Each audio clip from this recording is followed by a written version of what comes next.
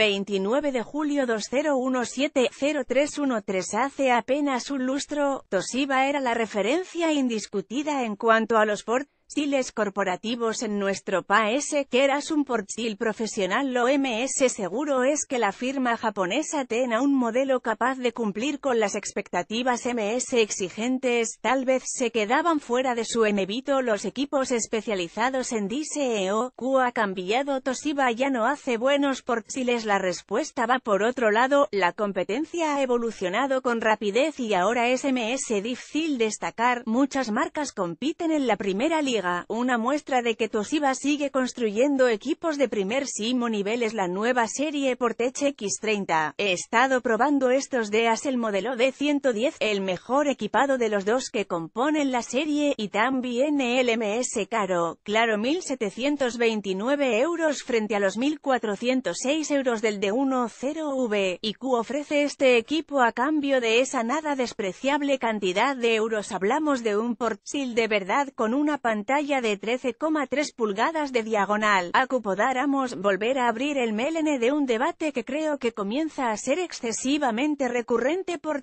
Sí, convertible, tableta, la respuesta MS acertada es la marxista. A cada uno se gene su necesidad, nada MS sujetarlo se aprecian dos de las virtudes de un portátil de esta gama. Ligereza y robustez, parecen dos terreminos opuestos pero el X30 los compagina muy bien, un kilo de peso prácticamente lo mismo que una tableta de 12 pulgadas con tapateclado y un chasis de magnesio construido en panel de abeja, lo que le aporta solidez extra, a se van unos cuantos euros, la pantalla, además de ser antirreflejos para poder trabajar de verdad en movilidad, es también etecatil en el modelo que hemos probado, no en todos, también podáramos abrir a cuatro debate, pantalla tecatil en un portátil cuya pantalla no se puede voltear 360 grados. Yo tengo mis dudas, a veces uso la pantalla tecatil, pero la mayor parte del tiempo me conformo con el RAT N, si lo tengo, o con el trackpad por si acaso, el X30 tiene ADMS, o un controlador del cursor en el centro del teclado que funciona muy bien entre las letras G, H, B y N ya que mencionamos el teclado, es retroiluminado, algo muy conveniente para escribir a oscuras y las teclas son ligeramente mayores que las de modelos similares, lo que hace que su uso sea C-modo, el Portech X30 viene equipado con Windows 10 Pro. No voy a contar lo que tarde la actualización porque influye influyen muchos factores pero llegó a despotricar profundamente contra las pesadísimas actualizaciones de Windows, pero complementado por una BIOS desarrollada por Toshiba. Generalmente, soy poco partidario de las complicaciones que suelen aportar las pieles sobre el sistema operativo puro, excepto en aspectos de seguridad extras. En este terreno, el equipo de Toshiba tiene un lector de huellas embebido en el trackpad. No es el primero que vemos, pero es una buena solución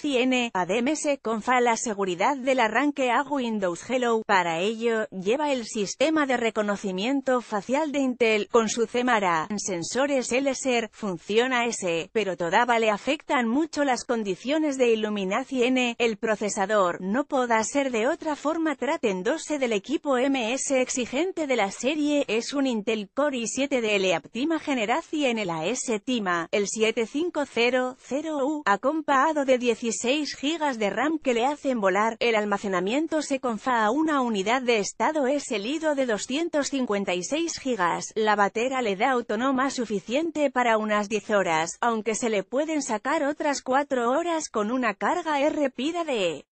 media hora, en cuanto a puertos para un port de un kilo, no es mal, lleva un USB 3.0, una conexión HDMI y dos USB tipo C Thunderbolt, quien lo iba a decir, lo que no trae en la caja, y lo he echado de menos, es un adaptador Ethernet a USB me haber ahorrado algunos problemas de actualizaciones.